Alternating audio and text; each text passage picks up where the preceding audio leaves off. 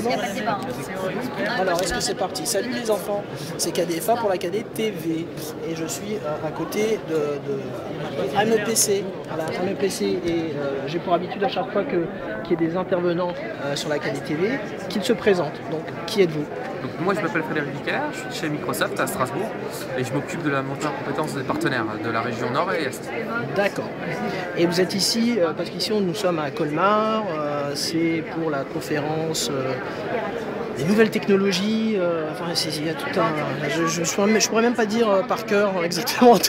et les, entrepre- les, les entrepreneurs. Et, euh, et, euh, et donc c'est pour ça que vous êtes ici. Vous avez, euh, vous, vous- sortez là tout de suite d'un- d'une présentation. Oui. Hein, c'est ça, de, de Windows 7, de Windows 7, euh, voilà. À part que là, ici. c'est directement intégré. Voilà, ben, je sais pas, qu'est-ce qu'on qu'est-ce qu'on peut en dire Alors, il a été attendu ce, ce Il a Seven quand été même. attendu, euh, c'est un, un fier successeur euh, de, des OS précédents, Ouais. donc je dirais XP et Vista, Et Vista Euh, qui, a laissé, euh, qui a laissé pas mal de traces. qui a laissé les- des traces, des pas jolies traces. Des pas jolies traces, non, je crois qu'on peut le dire on quand peut même. le dire. Ouais. Par contre, euh, on a un autre, euh, une autre perception de Windows 7 aujourd'hui Ouais. qui, qui est réaliste aussi.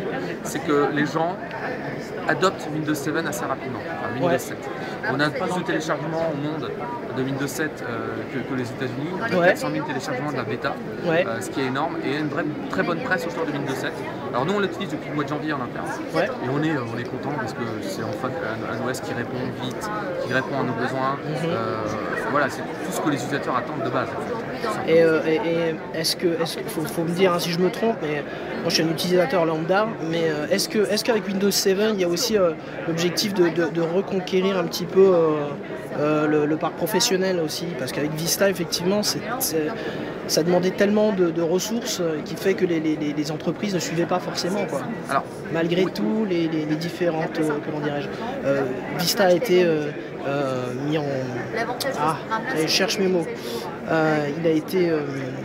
Il y avait plusieurs versions pour essayer de, de l'adapter le mieux possible par rapport aux, aux demandes professionnelles, mais bon, ça n'a pas, pas escompté le succès voulu. Quoi. Alors on a toujours les deux axes, le Ouais. grand public et le professionnel. D'accord. Effectivement, donc moi je m'occupe plutôt du monde professionnel. D'accord Et c'est vraiment une stratégie euh, assez claire qu'on présente à tous nos partenaires et à tous nos clients. Ouais. C'est qu'on oublie ce qui s'est passé avec Vista entre guillemets. Windows 7, on vous démontre que ça fonctionne et Ouais. votre parc est prêt pour Windows 7. Donc d'abord il faut faire un audit. Donc on a des outils, on a mis en place des outils pour dire voilà, dans votre parc, 90% des applications sont déjà prêts, 7, quoi. ou 100%. Ouais, ouais. 90% ou 100% de votre matériel est prêt pour Windows 7. Ouais. Et à partir de là, on commence à déployer avec des outils de déploiement qui vont très très vite. Donc on a vraiment tout travaillé pour les, les professionnels. On a mis une gamme pour optimiser de la plateforme de, de, de- de postes de travail supplémentaires au-dessus de Windows 7. La version entreprise est, le- je dirais, le- la preuve euh, complète parce qu'elle est dédiée aux entreprises. Ouais. Elle a rajouté des nouvelles fonctionnalités, donc ça, que pour les entreprises. Ouais. Donc ça, c'est Voilà, une forte volonté de notre part pour améliorer en fait l'expérience utilisateur en entreprise avec notre système d'exploitation phare qui est Windows, Ouais, Windows ouais. 7. Donc essayer de reconquérir en tout cas un petit peu euh, ce qu'il y a. La, la, la- bon, je vais pas parler de perte de confiance quand même, mais bon, euh, il y a eu un, de, la, de la part des professionnels quoi. Ça, ça, c'est déjà, c'est déjà pour les professionnels, et sinon pour le grand public, alors ça, ça l'offre ça, ça correspondra à. On ça correspond. parce que c'est sorti. Si on l'utilise à la maison, Ouais. bah, on aimerait aussi l'utiliser en entreprise. Donc Ouais. axe est aussi fort pour nous. Ouais. Et on le voit avec les campagnes publicitaires qui ont commencé euh, le 22 octobre, qui vont continuer sur des mois et des mois. Donc Vista, on a été très timide. Il y avait 2-3 campagnes, Voilà, 2-3 spots. Ouais. Là, on va continuer pendant des mois et des mois, euh, régulièrement, 2, 3, 4, 5 fois par jour, Ouais. à mettre de la publicité Windows 7, à montrer que c'est vraiment ce qu'on a mis dans Windows 7, c'est ce qu'on nous a demandé de mettre. Voilà. Et là, on, on le fait sur, euh, sur, sur le semestre. Ouais. Euh, et donc ça, c'est assez fort. Toutes les machines aujourd'hui qui sortent sont sur Windows 7.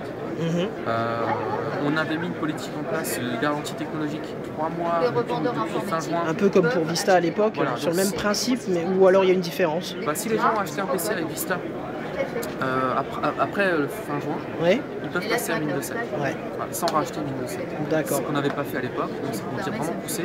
Effectivement, vous avez acheté Windows 7 parce qu'il y avait même une machine, mais vous, pouvez, vous pouvez passer à Windows 7 Ouais. rapidement et vous en gagnerez plus de performance. Très bien. Bah, merci beaucoup pour ces explications. Puis on est en train de discuter, mais en même temps, juste à côté de nous, bah, il y, a, la table à surface, la fameuse, qui euh, pendant, pendant, pendant, des, pendant des années, euh, je, la voyais, on la voyait de loin. Je me souviens de la présentation, c'était à Las Vegas, euh, je crois, la première présentation de, cette table.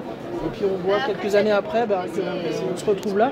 Et puis bah, je sais pas si vous pouvez nous montrer un peu vite, fait comme ça comment ça fonctionne pour ceux qui ne connaissent pas encore. hein, parce que Alors, il y a pas mal de gens qui regardent, qui regardent la KDTV qui n'y connaissent rien à, l'univers du PC de manière générale et donc euh, voilà.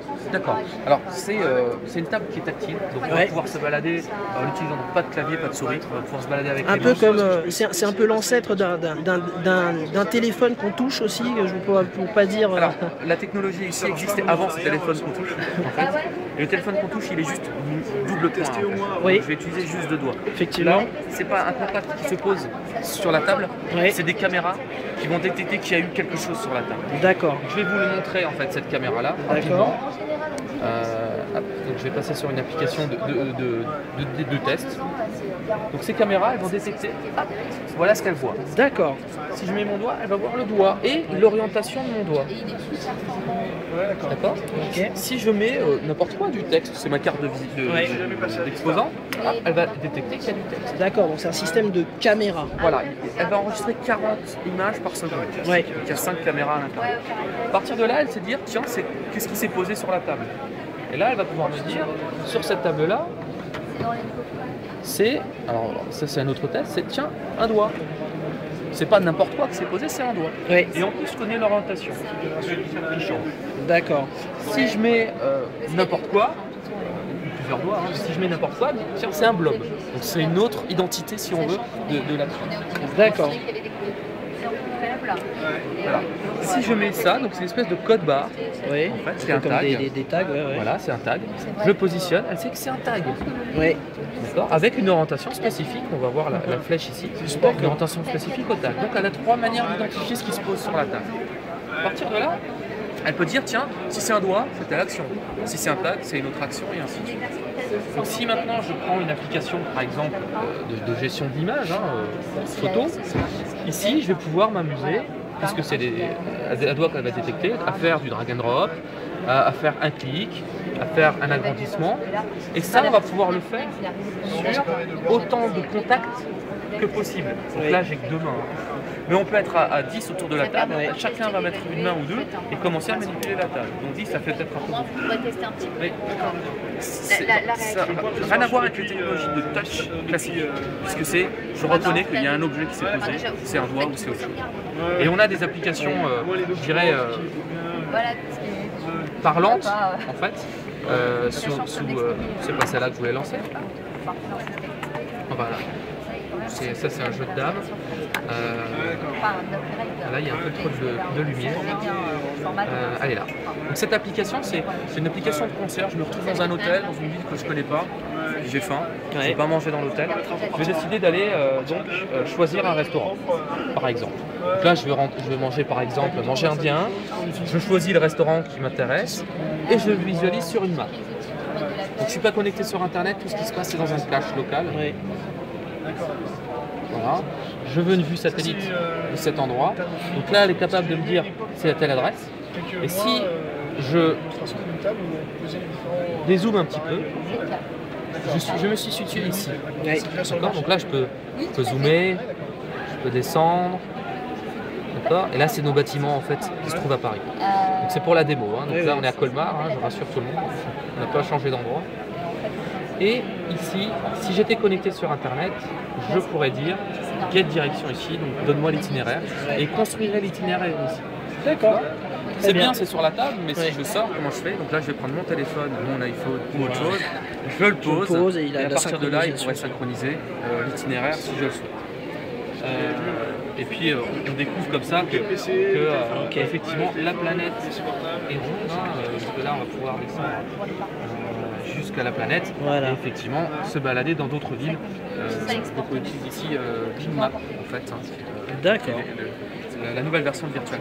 Très bien. Bah, merci beaucoup. C'est vraiment très gentil. Euh, et puis, euh, bah, je vous dis à tous euh, très bientôt sur la KDTV, hein, comme à chaque fois, www.kdfa.fr. Et puis, euh, bah, je vous invite à aller faire un tour et comme ça, vous pourrez voir la petite intervention euh, et voir un petit peu le travail que je fais. Voilà. Parfait, merci. Allez, ciao à tous. Au revoir. Comment ça travaille sur